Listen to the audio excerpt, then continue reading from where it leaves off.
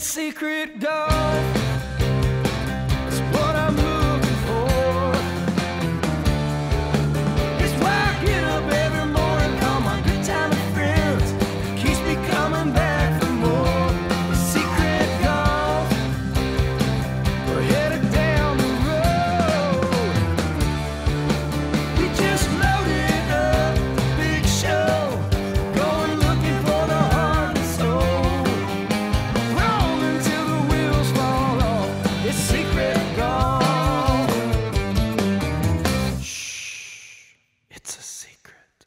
Secret Golf with Elk and Knoxy, the podcast. How are you doing? I'm Diane or Knoxy, and it's the week before the Masters. Everyone's getting very excited. But before that, we do have the Houston Open, and I have to say, Elk's um, very excited about that too because it's in his hometown, the big event that he's been looking forward to. So, we're going to talk about that in just a little while. But on the podcast today, we are joined by Jason Dufner. Really happy to have Duff on, especially because I was actually looking back and our first ever Secret Golf podcast was with Jason. He was our special guest for the launch. So it's good to have him back on. We're going to be talking to Duff about his recent form, how his game's looking, um, his performance at the Dell Technologies match play just last week. Also, his Masters preparation, how that's coming along. I know he's been doing a lot of work on his backswing in particular. So Elk's going to talk to him about that. We're going to talk about the Jason Dufner Foundation, which is his charity that he has founded. And it's amazing. It's such a great foundation. I've actually been doing some work on a video for that. Um, so we'll get Jason to talk about his foundation. And then also the thing that I'm most excited about Duff's hat game. It's been generating an awful lot of interest on social media. Jason doesn't have a hat sponsor this year. So some of his uh, choices of headwear have been very interesting and they've got people talking. So all of that coming up on today's Secret Golf podcast. But yep, as I said, Houston Open and Elk and Duff. I caught up with them yesterday for this podcast and they were on some sort of secret mission, which I'm still none the wiser about. We're at a se- secret location, Diane, um, in Texas, uh, filming some exclusive Jason Dufner content today. exclusive Jason Dufner content. I like the sound of it. Um, obviously, Yeah. the Houston Open about to start in a few days, and Elk, you're out and about with the big show. I am. Um, it, I got to spend a few days over in Austin last week. Uh, I got to see Jason. Uh, I got to see a lot of our players. Uh, he had a, had a decent week. We'll probably hear about what his thoughts are of the week here in a minute, but uh, I think he's looking pretty good heading up to Augusta. Well, it's only a couple weeks away, and that's really, I think that's what you're looking at. Uh, yeah. Um, match play is match play. You can play well and get beat. You can play poorly and move on. Um, you see a little bit of that with the with the match play. So uh, I was happy with how I played. Um, we got Houston this week, which is a good golf course. I had a good finish there last year, and then obviously getting ready for the Masters in two weeks. Uh, all the guys are trying to peak for that week. So What are you trying to do? I mean, I know when I play what I shoot was low scores. Huh? Shoot low scores. Uh, is there anything in particular? You were with Chuck Cook. I was with Chuck, uh, who is a uh, contributing coach to Secret Golf now. Uh, what, what, what are you and Chuck working on? Because you guys were working pretty hard last week. Yeah, the biggest thing for me, golf swing wise, is just my backswing, getting um, that in the correct position. Um, I tend to get a little bit off with my backswing, which makes my downswing uh, a little bit tougher to get where I want to be at impact. Um, trying to get the club a little bit more laid off for me is always a good thing. Um, I just have this bad habit of wherever I go in my backswing, whether it be vertical, on plane, laid off, all those different variables you get, I'll come straight down from there. There's no shift in the plane for me. So it's real important for me to be on the plane or maybe even a little bit laid off at the top because that ensures that when I'm coming down, I'm not going to be off the plane as much in the impact. I'm not going to have to manipulate. Um, it's been a little bit more difficult for me the last couple years. Um, but the tough thing is, is you, you, we're talking about an inch, maybe two inches. A few degrees, right? that's hard to feel. Um, so you got to stay on top of it with the video and with the TrackMan and things like that. And then obviously with Augusta, you're working a lot on short game, trying to make sure that you can get the, the right spin, uh, right height, all the different shots you need um, and then some lag putting stuff. So. Is it true that most tour players like yourself keep doing the same thing wrong? It's not like you're inventing new problems, or is it? No, I don't think so. Um, I think most of the guys week in, week out are pretty close with their golf games. Like I said, it could be a couple degrees, it could be something in the setup before even the swing motion starts. Um, a lot of the guys are just really splitting hair, especially the guys that are top 50 or top, you know, 100 in the world. They they they're playing pretty good golf to be at that position, and then it's just a matter of, you know, are you maybe your address position might vary a little bit, ball position, aim lines, um, and the biggest thing really is, to be honest, is putting. You know, are you making Your share. your share, um, and that could be from any of the distances. You know, usually the guys that are competing and finishing very high week in and week out are at a high rate inside of that eight foot range, and then maybe they're throwing in one outside of 20 feet every day instead of making none outside of 20 feet. So all those little things are what you're hoping that can click for the week of a major. And you said a minute ago that um, you know a lot of a lot of tour players.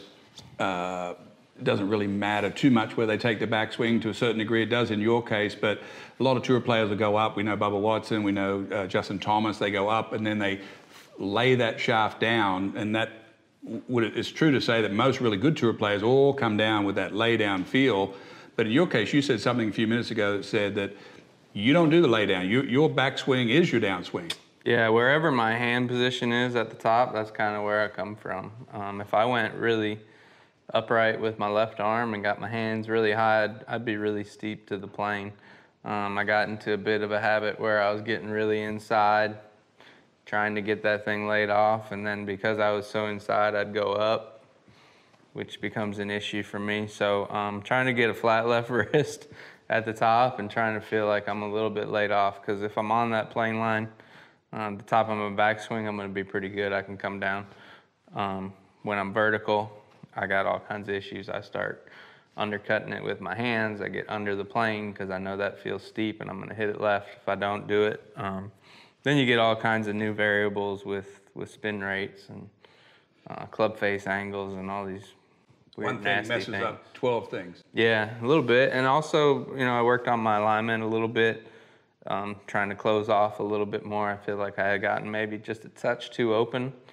Um, and also, it kind of helped me with the intent of what I wanted to do to get that handle closer to me, getting the shaft going left. I felt like I was closed a little bit. I'd kind of almost want to have a little bit of an over the top move, which I'm going to play better with as opposed to playing under the plane and, and having some, some layback in the face and, and change in loft like that. You and me, uh, footprints never stand in the same footprint on a tee if we walked in, because I'm way open and you're a little closed. I remember when you won to Bob Hope a few years ago, you had a, a distinct outlook to your swing, but really it was probably zeroed out. Is that true on the track? Probably look pretty close to that. Um, I play better from that side. Anytime I get underneath, I'm going to be struggling. The handle gets high for me. Um, the shots can go right or left. Generally speaking, they'll start out going right, and then I'll get tired of that and throw my hands at it. You'll see a lot of roll and club face uh, flash, is what we call it. And um, Flash meaning you can't control it, like the flash of a camera. Like, ah, what happened there? you don't know where it's going to go. You don't know if it's going to. And a lot of times those balls start left. The club face is pointing left of the path.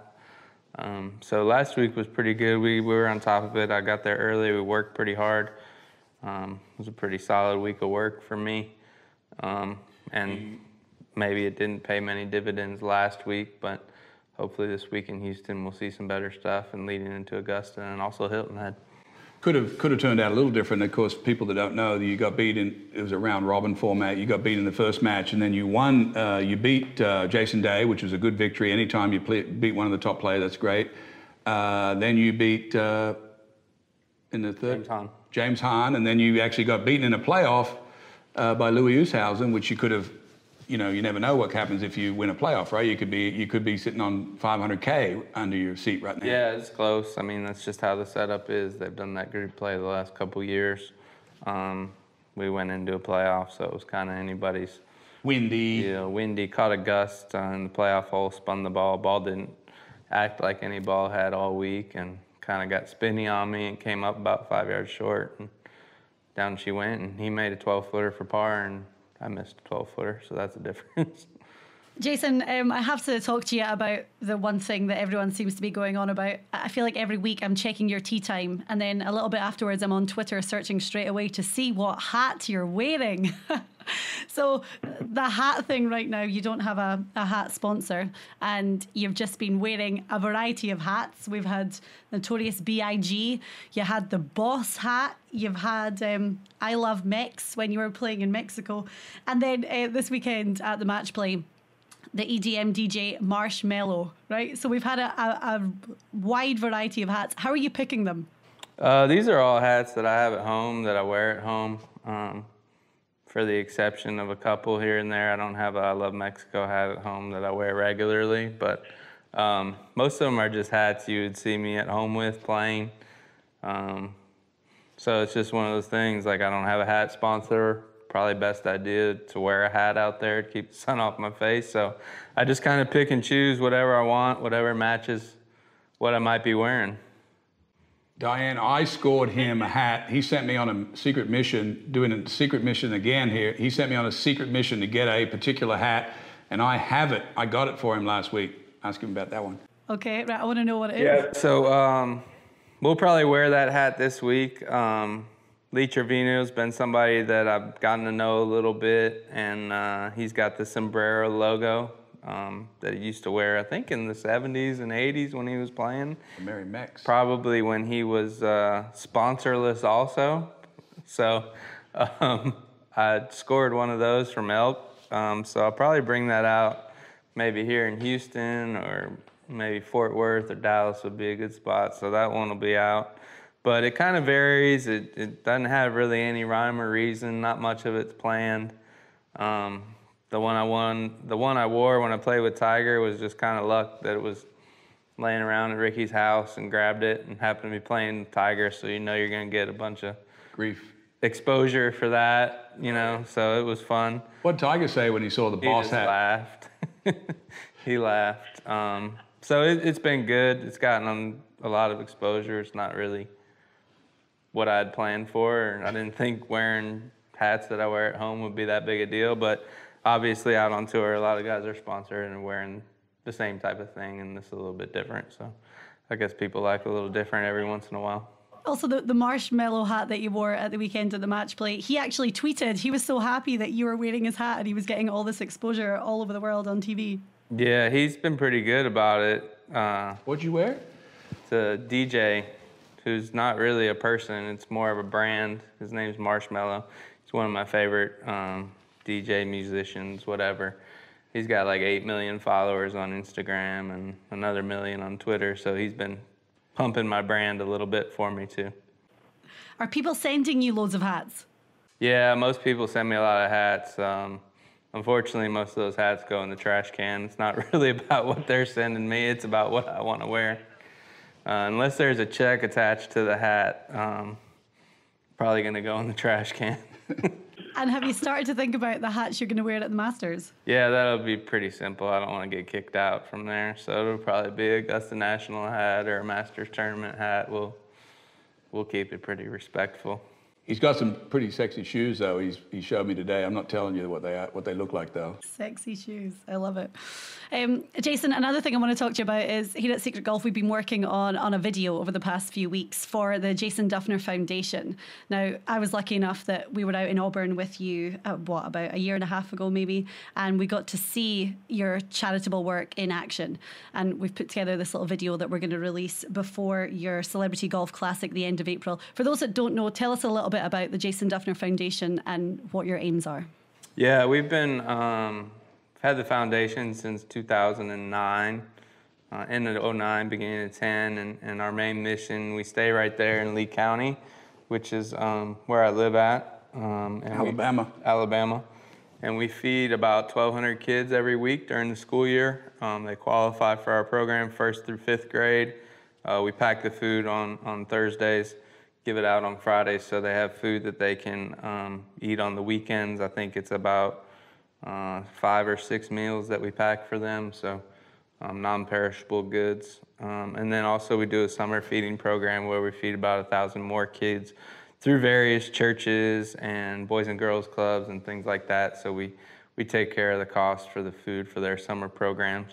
So uh, on April 30th uh, in, in Auburn, Alabama, we'll have our event. It's our big fundraiser.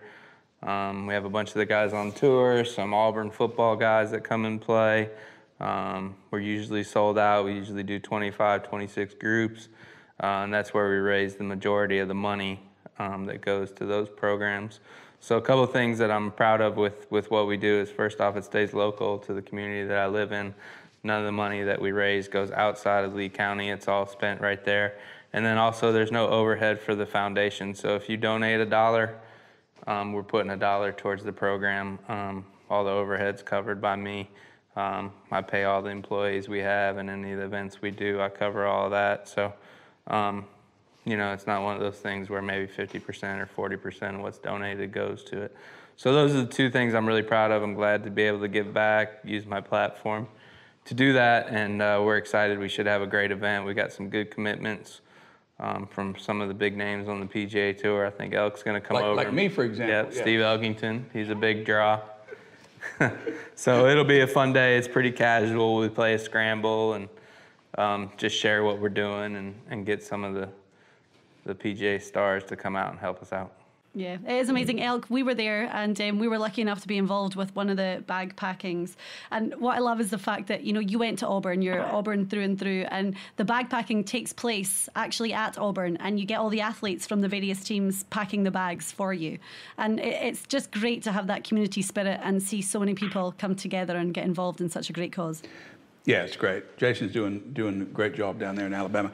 Now, um, as we move gears here, Jason, to the Houston Open this week, uh, what, what's the ideal week for you here? Um, yeah, trophy. Yeah, trophy would be good. um, you know, one one thing today, we're we're knocking this out. We're local here. You're local here, so I can knock out uh, doing some content. So Mondays are usually a travel day, pretty short travel from Austin. So we'll travel over this morning, knock this out this afternoon. Tomorrow will be a pretty light day. Um, just work on the same things we've been working on. I try to stay really consistent with my practice. Um, it's easier when Chuck's here with me because he keeps me on task. He keeps me on line. He's kind of my eyes. I can't watch my golf swing. Um, I can see some numbers on TrackMan, but I can't really see what I'm doing. Um, and what you feel and see sometimes is so different. So it's good to have him here. He, he's my eyes. Let me know that I'm still working in the right direction. Um, Tuesday will be pretty light. We'll do some practice, some work, probably play nine holes. Um, great thing about this week's event is only a nine hole pro am on Wednesday. So uh, I'm pretty excited about that. That'll be one of my first nine hole pro ams. So we'll play whatever nine, um, the opposite nine of what we're playing on Tuesday. We'll do a pro am on Wednesday and then we'll be getting ready to compete. Um, I try to compete starting on Thursday. I try to get all of this uh, coaching stuff out of my head and all the mechanics out of my head and, and try to play. You want to be free. You kind of want to be on a on a you know no thinking attitude and competing and trying to get the ball in the hole because that's the name of the game. Automatic mode. Automatic mode as opposed to non-automatic mode, right? A lot of a lot of us we get to thinking about our swing and working on. You see guys working on their swing positions out, and that's probably more non-automatic, right? yeah, I mean I think it's okay if you have one thought maybe that or a feeling. If you do this, everything's gonna be great. Yeah. So last week I was really focused on my backswing a good bit. Um, that'll probably be the same for this week. But you'd like to have no thoughts and feelings and just be Aim it. aim it and target, uh, you know, acquiring targets out there. So that would be perfect. And, you know, there's some work uh, off the course with keeping my body where I want it to be, just making sure that I'm feeling good. I'm not too fatigued. That's one thing you got to watch, especially leading into a major. You feel like you got to do all this practice, all this preparation, and maybe by the time you might not see it on Thursday or Friday, but maybe the back nine on Saturday, you start lagging a little bit. So trying to just manage that and manage the travel and manage the schedule. I got four weeks coming up, so I want to make sure that I feel good for all four weeks and not just these first two. Um, those are all things that people don't really take into account as to what it takes to be successful. Uh, I, I have a question about the Masters. There's going to be so much hype this year, you know, with Tiger playing well, Phil playing well, Rick, everyone, you name them, all the top players are playing well. Is this a chance for someone like you to go in there and get your work done while all that hype's going off over to the side and maybe sneak off and just blitz it right out of the gate? Yeah, I think it's possible. Um, I think if you're in the field for the most part, you got a pretty good chance. This is my, I don't know, seventh or eighth time around um, Augusta National, so I kind of know what to expect. I know how it's going to play for the most part. I've seen it in a lot of conditions. There aren't many tricks, so for me, it's going to be more about execution, how well I can execute. Um, I'm hoping for kind of a firm and fast Augusta National. That helps me a little bit. Last year was pretty firm and fast. Uh, I made 19 birdies and an eagle, but I finished about 30th, shot over par. Um, so is it is it an iron game for you over there? If you could hit your irons into good spots, you can you can putt good enough to win that tournament if if the iron game's on. Is that true? Yeah, definitely. It's a second shot golf course. Um, I think driving it far has a bit of an advantage, not because um, driving it far is needed. It just makes your iron play a little bit easier. Uh, the closer you are, generally speaking, the closer you hit it to the pin. If you have a seven iron instead of a five iron, on the average, you're probably going to be better. So if I can get it playing a little firm and fast and hitting, you know, a nine iron, an eight iron, a seven iron into number one, whereas to two or three years ago when it's soft, I was hitting a four iron. That's a big difference. Um, I can reach all the par fives if it gets to playing firm and fast. Um, and then the greens don't really play firm and fast like they used to. They backed them off a little bit, I think. They probably don't want us talking about that, but with the added length that they've had, I feel like the greens have been backed off a little bit on how firm they get, how fast they get. So firm and fast doesn't necessarily mean the greens are going to be playing firm and fast. They're always pretty consistent throughout the whole week. Um, but I need those fairways to be rolling a little bit. Makes it a little bit easier for me. Um, but yeah, there's a lot of guys that are playing well. There's going to be. How much hype is there out think, there with yeah, Tiger a lot of well? Hype, a lot of hype with him. How much? Like mega hype? Yeah, he's the needle mover for us. Is it true that even Tiger, where he is with his game right now, he can manage himself around Augusta because he knows it so well to get himself in position? If there was a tournament that he could play really well at, it, this would be it. Is yeah, I think so. He's got a little bit more room with the driver. Um, he's been pretty good with his irons. He's been really good with his pitching and chipping and putting. Um, and he has the experience of playing that golf course and knowing how that golf course is going to play.